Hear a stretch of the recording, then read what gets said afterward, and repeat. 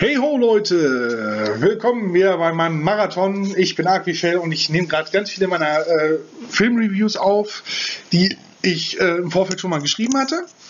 Keine Angst, es kommen immer zwischendurch exklusive äh, Reviews. Ähm, wie gesagt, ich mache es in erster Linie jetzt bei YouTube mit den Reviews.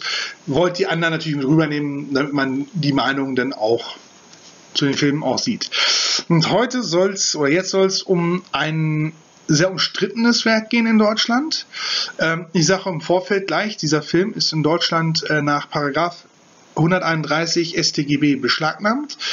Ähm, ich möchte hier betonen, ich setze, will mich kritisch mit dem Film auseinandersetzen und äh, ihn nicht bewerben.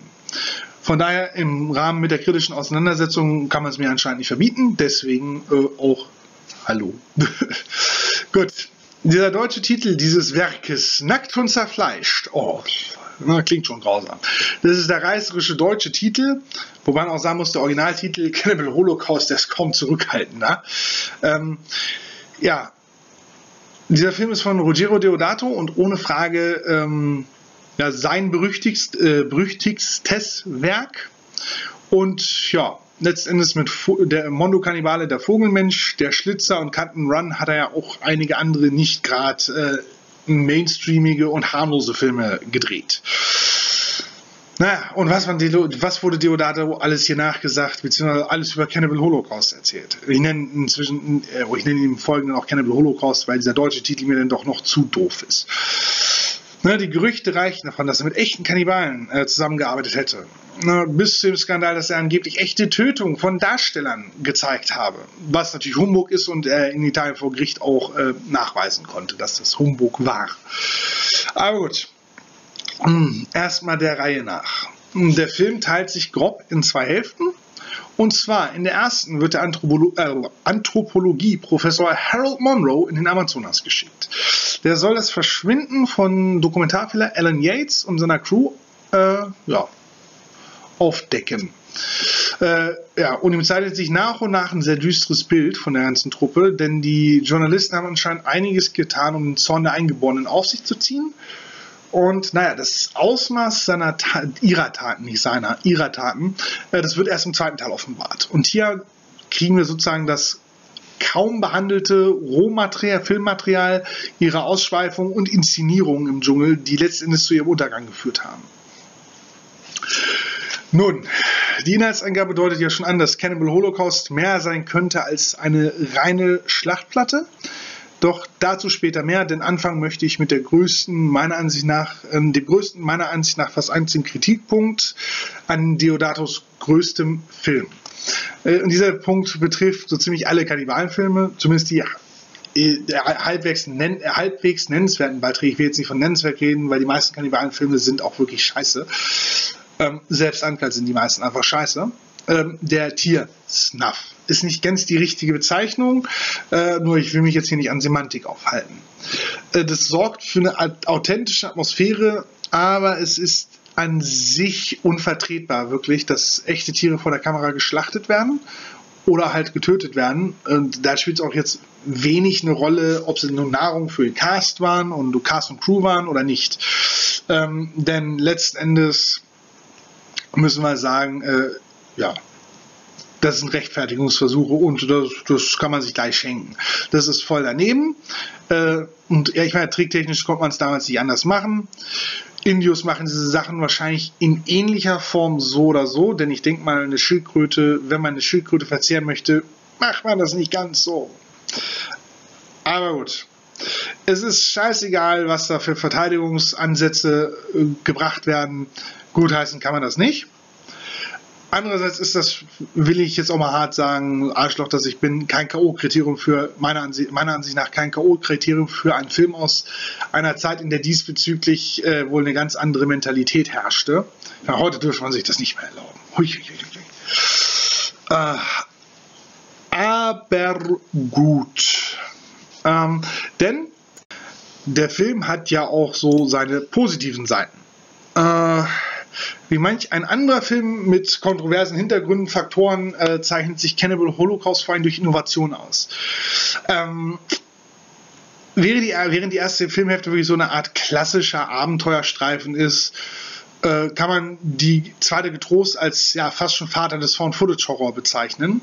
Und das mag für manch einen Mainstream-Zuschauer verwunderlich wirken, äh, aber lange vor diesem, meiner Ansicht nach, ne, unsagbar miesen. Hier, ich habe es gesagt, Blair Witch Project. Blair Witch Project war langweilig, scheiße und so gruselig wie eine alte Tennissocke. Ja? Der ist das beste Paradebeispiel äh, für intelligenten Internet-Hype. Aber naja, eigentlich hat ein Italiener namens Ruggiero Deodato in einem Retrospektive den doch eher ungeliebten äh, Subgenre die Mechanismus, äh, Mechanismen des heute äh, so totgetrampelten und ach so beliebten von Footage Horrors verwendet. Ne, denn das Team um Alan Yates, das filmt mit zwei Kameras und wir sehen am Ende quasi ja, den Rohschnitt. Keine Hochglanzoptik, keine, hektisch, äh, nee, keine Hochglanzoptik, eine Menge hektische Schwenks, mittendrin stand nur dabei. Und ich muss gestehen, nie hat mir das besser gefallen als bei Cannibal Holocaust, denn A ist es storytechnisch wirklich sinnvoll eingebaut. Es wirkt sehr authentisch. Es sind zwar einige Fehlerchen drin, aber es wirkt sehr, sehr authentisch und ja, ungezwungen. Ne? Und ich hatte irgendwie nicht einmal das Gefühl gehabt, dass hier ein klassischer Film das hätte sinnvoll auf den Punkt bringen können, was ich bei manchen von Footage-Horrorfilmen nun leider dann doch so habe.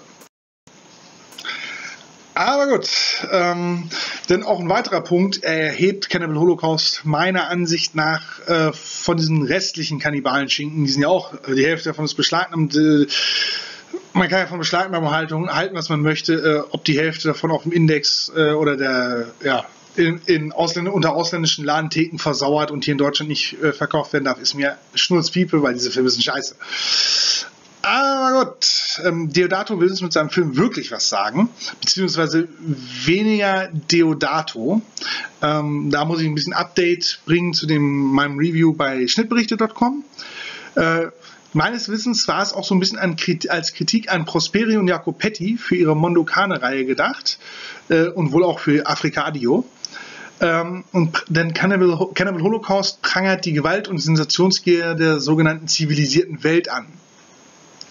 Ähm, ist, ja, Deodato hat sich das dabei gedacht. Genau genommen hat sich der Autor der Vorlage das gedacht. Und Deodato, äh, ja, der hat das halt so ein bisschen gefilmt und ist dann ein bisschen in seine eigene Falle getappt. Äh, Komme ich gleich zu. Äh, Yates und sein Team, die inszenieren halt so die Stereotypen und Gräueltaten nicht nur aufgrund dessen, ja, dass sie ähm, selbst, oder die inszenieren halt gewisse Stereotypen und Gräueltaten, äh, ja, nicht nur, weil sie selbst Gefallen an dem Treiben finden, was immer mehr überhand nimmt, äh, sondern auch, da die Menschen genau das erwarten und sehen wollen. Friedliche Eingeborenenstamm bringt keine Quoten. Hm. Dass ein ganzes Dorf abgefackelt wird, weil ein gegnerischer Stamm da angreift. Hm. Ja, das bestätigt ja unsere schönen Bilder vom äh, ja, gewalttätigen Wilden. Und wir sehen uns doch gerne bestätigt, muss man sagen. Ne, eine Eingeborene wird vergewaltigt von Yates und seinem Team, abgesehen äh, vom angewiderten weiblichen Mitglied, äh, weil sie ja nur eine Wilde ist. Und danach wird sie aufgespießt, nur um vor der Kamera dann zu sinnieren, wie grausam diese Bestien sind. Und selbst dann muss man ganz klar sagen, dieses Mitglied, das so ein äh, Filmmitglied, das so ein bisschen angewidert ist. Ich meine, sie findet das nicht toll, aber erstmal, sie macht nichts dagegen und zweitens äh, scheint eine ihrer größten Sorgen auch sein, dass das Verschwendung von Filmmaterial ist. Ja? Sieht man mal, mhm. Mhm, wie manche Menschen über andere Menschen denken. Ähm, nun gut, diese Ungeblümtheit und wie drastisch das denn teilweise auch wirklich inszeniert ist, das unterscheidet Deodatus Versuch der Kritik von Lenzis, äh, Umberto Lenzis halbarschigen, äh, pseudo-gesellschaftskritischen Versuchen wie die in Eaten Alive, also lebendig gefressen, oder Cannibal Ferox, die Rache der Kannibalen, äh, ja, dem Publikum unterjubeln möchte.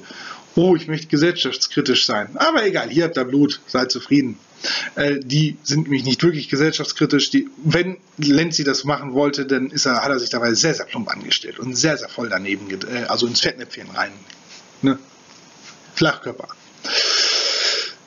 Nun gut, ähm, von daher hat es nicht nur den Anschein, dass das hier so eingebaut wurde, um ja das Gewissen zu entlasten, ähm, sondern weil wirklich ein wichtiges Anliegen war, zumindest von dem ähm, Drehbuchautor und demjenigen, der sich die Vorlage ersonnen hat. Ne, Deodato spielte auch geschickter mit den Erwartungen der Zuschauer, ne, dass die Kannibalen die Bösen sind, denn damals Kannibalen, das sind die Bösen, die wollen fressen, äh, Menschen fressen. Ne, und das spielt er ein bisschen äh, geschickt mit. Man erwartet halt unzivilisierte Fleischfresser und bekommt eigentlich nur fried, halbwegs friedfertige, aber ablehnende und skeptische, da sie traumatisiert wurden und wirklich angegriffen wurden und gen, ja, genötigt wurden, Dinge zu tun, die sie nicht mögen, Eingeborene. Ja. Und als man in der zweiten Hälfte dann die wahren Bestien sieht, ja, da entledigen sie äh, diese sich nur den noch schlimmeren Monstern. Ähm, den sogenannten ja, zivilisierten Filmteam. Ne, denn die ganzen bösen Bestien verteidigen sich letzten Endes auch nur. Ne, also, äh, logischerweise, jetzt muss ich hier mal kurz gucken, logischerweise geht es bei alledem nicht unbedingt zimperlich zu. Denn äh, ja, man muss sagen, Cannibal Holocaust ist immer noch ein Kannibalenfilm. Das geht kaum zimperlich. Äh, Gerade äh, 1970er am Ende und die 1980er, da wurde sowas auch nicht gerade subtil gedreht. Ähm, Cannibal Holocaust ist mitnichten die Gore-Granate, als die manche ihn verschreien oder halt auch bejubeln. Er ist trotzdem kompromisslos und brutal. Da besteht keine Frage. Und womit Deodato, und das ist halt dieses Schöne äh, an diesem Film, was, was ich so charmant finde. Ironischerweise verfällt Deodato diesem Problem auch, dass er halt Blutdurst und Sensationsgier der modernen Welt befriedigen möchte und damit eigentlich genau dem, was der Drehbuchautor kritisieren will, dem selber unterliegt. Und äh, wie gesagt, in meinen Augen macht das wirklich sympathisch, da dieser Makel, dass Deodato die Kritik des Drehbuchautors, hinter der er anscheinend ja auch irgendwie gestanden haben muss, oder dachte sich, hey, ich will einen Kannibalenfilm drehen. Oh, das sieht nach einem guten Drehbuch aus. Nehmen wir das. Ähm, dass er, ja, Deodato seine Kritik oder diese Kritik letztendlich nicht anbringen konnte, um genau in die Muster zu verfallen, äh, die er kritisiert äh, diese ganzen Mechanismen, äh, die er anprangert, ja, auf diese auch zurückgreifen muss und nur erneut zeigt, wie tief das im Mensch verankert ist. Ähm, das ist weniger jetzt ganz konkret bewusst klasse inszeniert von dem Film. Das ist einfach nur so etwas, was sich so ergeben hat, was ich irgendwo unheimlich urig finde, muss ich sagen. Das macht es für mich wirklich sympathisch. Ansonsten muss man auch glasklar äh, Ritz Ortolanis Score mal wieder hervorheben, ähm, denn der für den Oscar nominierte Komponist Ne? Und erneut wieder ein bisschen Ironie. Die Nominierung äh, für den Score, die hat er für Mondo Kane gekriegt. naja, der hat hier vor allem, ich sag mal, zwei Themes, die besonders hervorstechen. Einmal so ein dunkles, bedrohliches für die nicht gerade wenigen verstörenden Szenen in diesem Film. Und das macht in seiner Wirkung mehr aus als äh, irgendwelche Soundeffekte. Denn die Soundeffekte es gibt keine Sound, nicht wirklich Soundeffekte bei gewissen Szenen, nur diese Musik. Und dennoch ein ruhigeres, ähm, das gerade in vielen Landschaftsaufnahmen, eine, ja, diesen vielen Landschaftsaufnahmen, die man zwangsläufig auch hat, so eine poetische Schönheit verleiht. Und meiner Ansicht nach übertrifft er hier sogar seinen genialen Score zu Afrika Adio. Und markanter und passender hätte, es, hätte er es echt nicht machen können. Auch wenn eine gewisse Manipulation, die mit den Szenen ein, äh, und der Musik in Verbindung einhergeht, auch nicht ausbleibt. Ja, schlussendlich, um es auf den Punkt zu bringen, Cannibal Holocaust ist meiner Ansicht nach einer der ganz wenigen Kannibalenfilme, die man überhaupt ernst nehmen kann und äh, ja, mit denen sich ein Fan extremer Filmkunst auch ja, mal, nur den er gesehen haben sollte.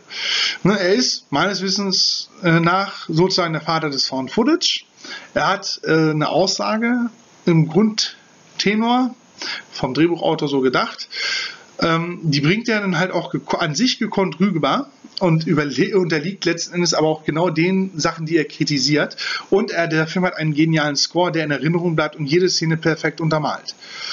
Ähm, ohne die drastischen Gewaltszenen, die ihn zum Kultfilm unter Splatter-Fans gemacht haben und dank des Tiersnuffs halt auch eben unter denen sehr umstritten gemacht hat, äh, wäre er wohl allgemein für viele ein Meisterwerk.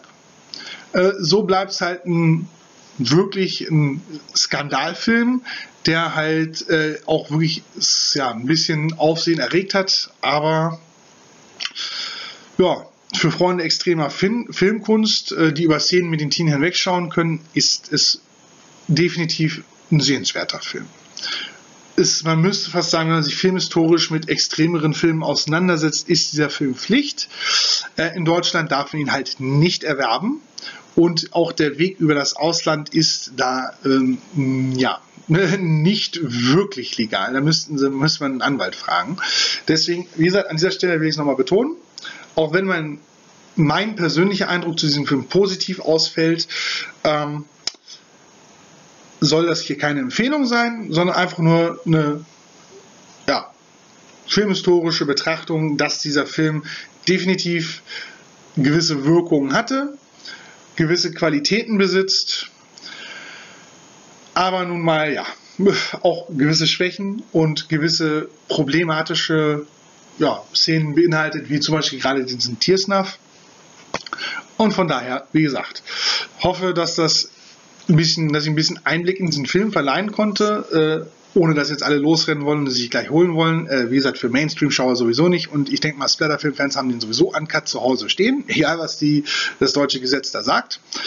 Ähm, Besitz ist ja auch meines Wissens nicht illegal, aber scheiß drauf.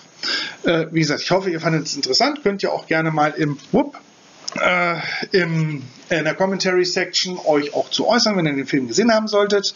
Und ja, wie gesagt, hoffe ihr schaltet demnächst wieder rein. Es gibt natürlich noch den einen oder anderen Film extremerer Natur, äh, mit dem ich mich dann auch noch auseinandersetzen werde. Von daher, bis denn, euer Aquifeld.